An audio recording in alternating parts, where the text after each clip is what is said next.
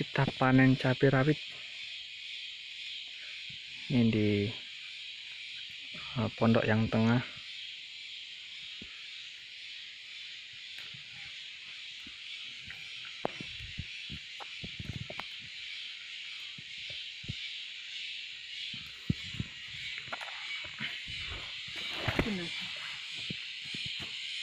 Ini cabai rawit lokal turunan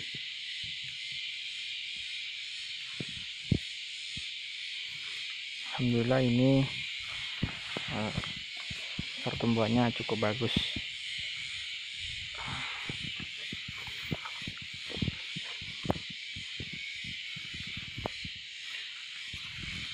Sampai ada yang eh, menempel ke tanah ini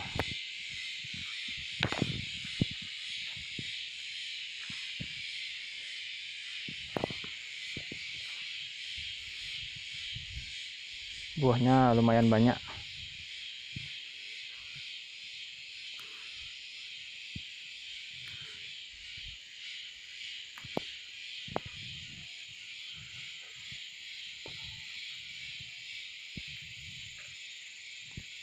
Sampai ke sana nanti kita petik semua.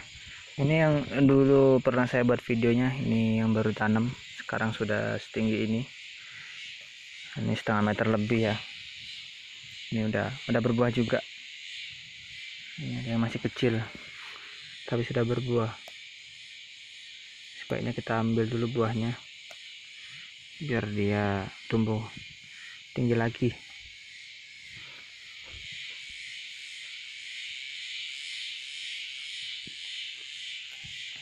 Nah jadi kalau di lahan kita itu e, ditumbuhi tanaman seperti ini ini ini kalau di sini nyebutnya ini kembang biru.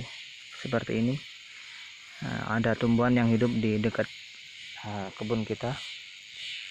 Ini nggak apa kita pelihara karena uh, terbukti lahan kita subur yang ditumbuhi dengan tanaman tersebut.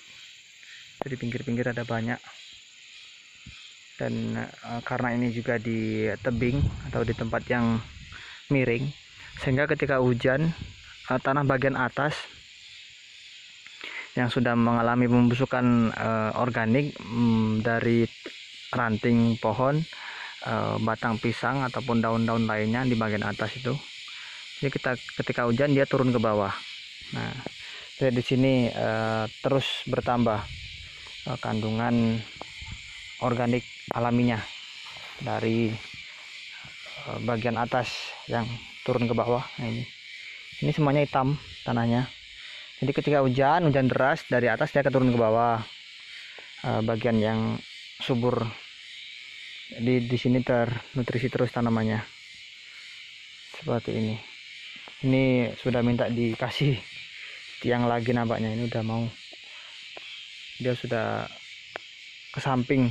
Udah mungkin juga uh, karena dia subur tinggi dan juga tiangnya cuman satu yang di dalam. Ini kemarin juga sempat kerobohan kayu.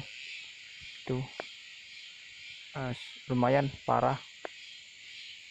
Tapi ini sudah pulih kembali.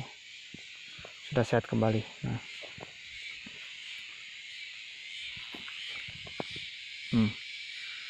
sampai ini dia apa? Miring-miring ke samping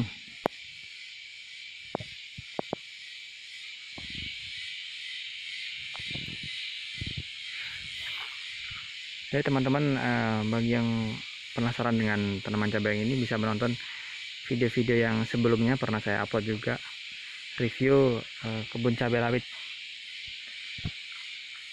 Ini ada kacang panjang juga sedikit. Nah itu kemarin yang sudah subur, cuman karena tertimpa kayu ini uh, patah batangnya dan sekarang sudah mulai pulih kembali, um, sudah berbuah kemarin sempat patah ini di bagian sini.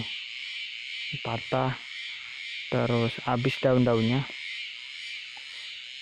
Dan sekarang sudah tunas kembali dan buahnya ini eh, bagus sedikit panjang dan keras.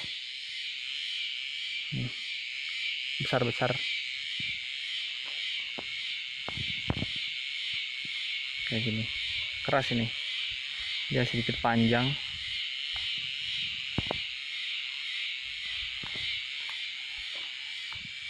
ini hampir 2 meter tingginya. Sebelah sini ini. Sampai lupa diikat sama tiangnya ini. Batangnya sudah besar. Ini saya aja ngambilnya sedikit susah. Kalau yang bagian atas atas ini sebaiknya apa dikasih tali kanan kiri ya. Cuman karena kemarin juga ini tercampur dengan tanaman terong mungkin di eh, kesempatan ke depan kalau kita mau tanam cabai rawit lagi di lahan yang seperti ini enaknya tanam cabai rawit saja. Kalaupun mau dikasih kacang seperti ini di samping jangan campur di tengah ini. Kita jalannya susah itu tertutup. Sebelah sini juga. Dan pemetikannya juga susah. Ini yang baru menyusul. Ini yang fase kedua. Untuk fase yang ketiga yang sebelah sana ini ini yang fase ketiga baru mulai berbunga. Oke eh, jangan lupa untuk menantikan video terbaru. Dan eh, silakan menonton video-video yang sudah saya upload. Terima kasih sudah menonton. Eh, sekian dari kebun cabai rawit di persawahan. Sama itu juga yang di bawah kemarin sudah dipetik cabai rawitnya nah bagi teman-teman yang baru menonton atau baru bergabung tolong untuk subscribe di bawah video ini supaya saya semakin bersemangat mengupload video-video terbaru. Di khususnya di pertanian. Terima kasih. Assalamualaikum warahmatullahi wabarakatuh